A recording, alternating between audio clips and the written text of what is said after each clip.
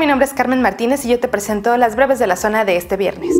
Los Esmeraldas de León vencieron al América en la ida de la semifinal 1 por 0 y dan un paso adelante a la final. La ida de la semifinal se disputó finalmente en la corregidora de Querétaro después de todos los problemas de contaminación en la Ciudad de México. El duelo, como se esperaba, fue cerrado, aunque al parecer la ausencia de Iván Rodríguez, que se lastimó en el calentamiento, le afectó demasiado al medio campo Esmeralda, que no fue el mismo equipo de otros partidos. La Fiera aguantó sufriendo, pero consiguiendo la ventaja ante el actual campeón del fútbol mexicano.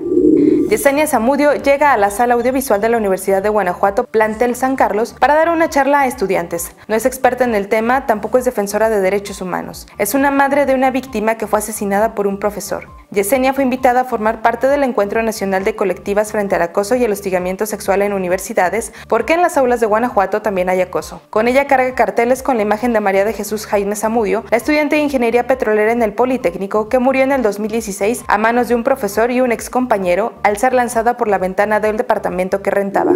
En México, apenas el 17% de los adultos entre 24 y 64 años tienen algún título de educación superior. Esto lo coloca en la posición más baja entre los países que integran la Organización para la Cooperación y el Desarrollo Económicos. Aún así, obtener el título universitario no garantiza que los jóvenes encontrarán un empleo en su área y con un salario justo. Además de que el 52% de los jóvenes de entre 25 y 34 años no pudieron concluir la educación media superior o bachillerato. Continúa al pendiente de la información a través de zonafranca.mx y en nuestras redes sociales.